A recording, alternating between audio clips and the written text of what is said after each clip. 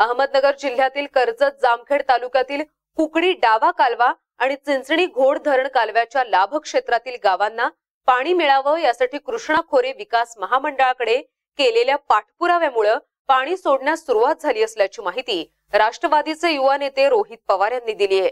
काही दिवसांपूर्वी रोहित पवार यांनी पुण्यातील सिंचन भवनात महामंडळाचे कार्यकारी संचालक खलील अन्सारी यांच्यासोबत बैठक घेऊन पाणी सोडण्याची मागणी केली होती. बैठकीनुसार लाभ क्षेत्रातील भागात प्रत्यक्ष पाणी सोडण्यास आता सुरुवात झाली आहे दुसरीकडे भोसे खिंड बोगद्यातूनही पुरेशा दाब्यानं पाणी सोडलं जाणार असल्यानं शेतकऱ्यांनी समाधान व्यक्त केलंय. झालेल्या चर्चेदरम्यान आठ दिवसात पाणी सोडण्यात येईल असं आश्वासन दिलं होतं.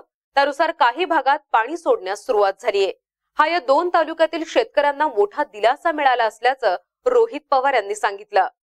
लाभ क्षेत्रातील इतर गावांबरोबरच जामखेड तालुक्यातील जवळा अघी चौंडी तसेच कर्जत तालुक्यातील दिघी चापडगाव निमगाव डाकू या शेवटच्या भागातील गावापर्यंत पुरेशा दाबानं पाणी पोहोचवण्याची कारवाई करावी या मागणीला तातडीनं कार्यवाही करण्याचं आश्वासन अधिकाऱ्यांनी दिल्याचं ते म्हणाले.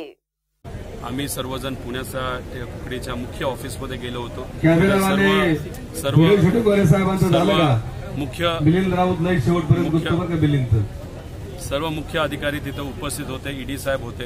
त्यांच्याबरोबर आमची सर्वांची चर्चा झाली. चर्चा झाल्यानंतर त्यांना आज कुकडी प्रकल्प असेल नाहीतर आपला मिरजगावचा प्रकल्प असेल त्यानंतर काही जामखेडचे काही गाव आहेत जे पाण्यापासून वंचित राहतात.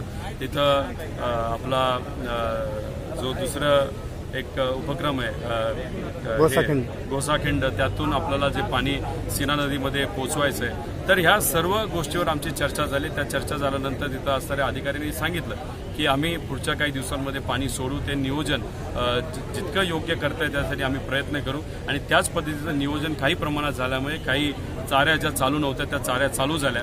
आणि त्यांनी अजून एक शब्द आम्हाला दिला होता की आम्ही काही दिवसातच कर्जतमध्ये येऊ तिथे असणाऱ्या शेतकऱ्यांची परत एकदा चर्चा करू. आणि ती मिटिंग काल या कर्जत तालुक्यामध्ये झाली. तिथेही काही शेतकऱ्यांनी आज अधिकच्या अडचणी सांगितल्या.